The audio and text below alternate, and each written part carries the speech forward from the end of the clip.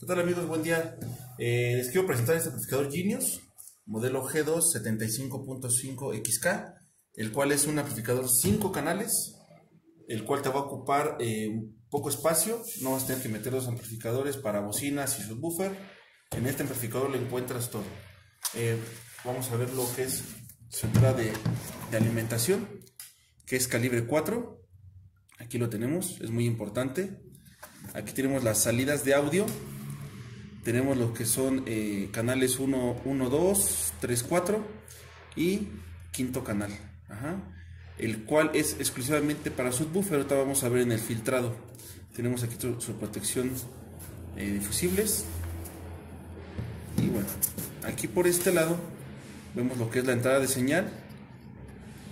Si pueden ver, es exclusivamente eh, full range o high pass. ¿Qué quiere decir esto? Para frecuencias altas eh, no sé, medios, agudos, lo que ustedes quieran, pero eh, low pass no lo va a hacer. Esto es algo muy importante porque exclusivamente va a ser para sus bocinas.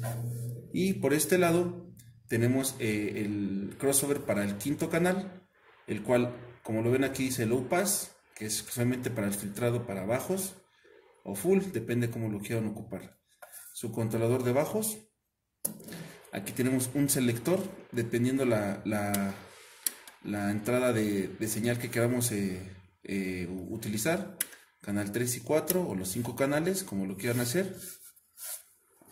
Y bueno, este amplificador, su potencia por canal en las salidas para las bocinas es de 75 RMS por canal a 4 ohms, 120 a 2 ohms en modo estéreo y en modo eh, te da 240 RMS.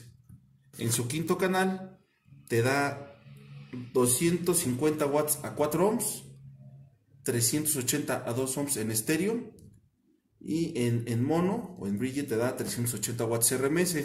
Con esto que puedes hacer, meter 4 bocinas, 8 bocinas, 2 subwoofers, un subwoofer, depende del homeaje final, siempre y cuando sea 4 ohms en estos y en estos mínimo 2 ohms por estéreo o 4 ohms en modo mono. Y bueno amigos, este es el amplificador 5 canales que tenemos ya disponibles en Genius. Y bueno, búsquenlos con sus distribuidores más cercanos.